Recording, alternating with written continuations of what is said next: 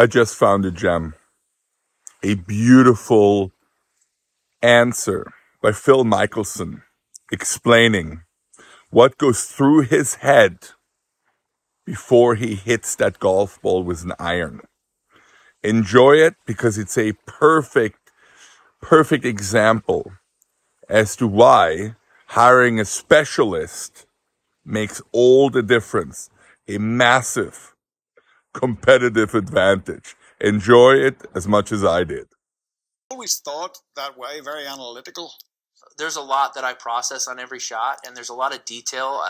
Uh, do you want me to touch on it, or do you really? Is it? Boring? Hey, tell me about it. Well, in my practice, I build a reference.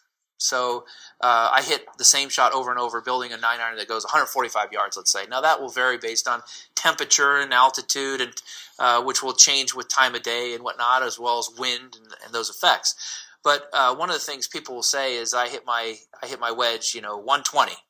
Well, you might hit a 120 under certain conditions, but in the morning, ball's not going to go 120. Maybe in the afternoon when it's warmer and ball heats up, but it's going to go 5 to 10 yards shorter in the morning. People don't factor that in. If you get a little bit of water in between the club face and the ball, people don't know it actually increases spin, causes it to go shorter. The first cut always comes out 6 to 8 yards dead. If the grain is into you, it's going to launch and hit lower on the face, launch lower, have more spin. Mm-hmm. If it's down grain, the club slides a little bit quicker, you'll get more out of it. If it's sitting up on zoysia or, or off of a tee, always goes 5 yards farther with each iron based on the fact that the center of gravity is underneath the ball and it launches higher, a little bit less spin.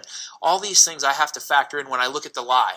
Okay, how is the lie and how is the ball going to come out relative to my 145 9 iron? Now, that's 10 off a stock. So I have a normal swing. Right. And then I have a second swing for every iron shot. And that's uh, it's a little bit shorter backswing with the same acceleration. So I have a 145 and a 155 yard shot. What is the lie going to do?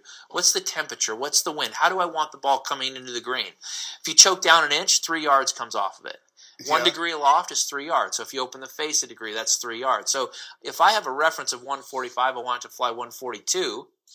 I can choke down an inch. It'll come in a little bit lower, a little bit flatter, and release. Or I can just open it up and hit a little bit of a cut. That'll be three yards, but it'll back up all these variables like I'll process yeah. Uh, like that when I look at the lie and assess the situation, see what kind of grass it is, and those are the nuances that allow me to be so precise with my wedges and my, my short irons and my distance control. Right. And, and that's why iron play has been such a strength for, for my game is that uh, I'm able to be precise to within a yard or two.